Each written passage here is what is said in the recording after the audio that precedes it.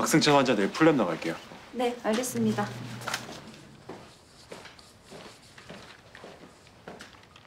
저기 여 원장님 어디 계세요? 이쪽에.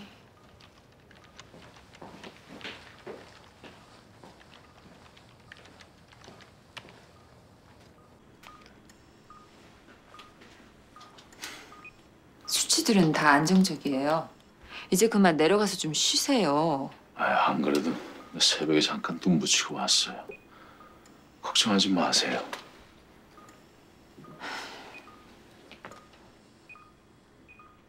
어머.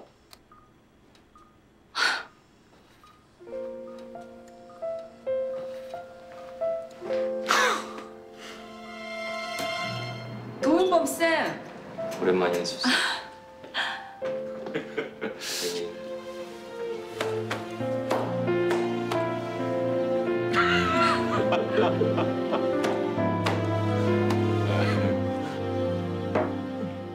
아니 너 연락도 없이 어쩐 일이냐? 어젯밤에서야 원장님 소식 들었어요. 런캔서 터미널이라면서요. 너무 늦게 발견하는 바람에 선생님은 좀 어떠세요? 나? 왜 나 뭐? CTS라고 들었는데요. 아 이게 거기까지 소문이 났냐? 서정 선배 걱정이 이만저만이 아니에요. 선생님 치료받을 때까지 저보고 지켜서 있으라면서.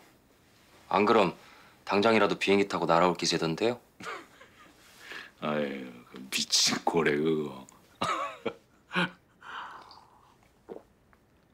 아 그래서 넌 여기 무슨 일로 내려온 거야? 아 말해봐 이렇게 갑자기 내려온 진짜 이유가 뭔지. 오늘 오후에 본원에서 진상조사단이 내려올 겁니다. 응? 어제 돌담병원에서 일어난 테이블 데스에 대해 조사가 이루어질 예정이에요. 저도 조사단 중 한 명이고요.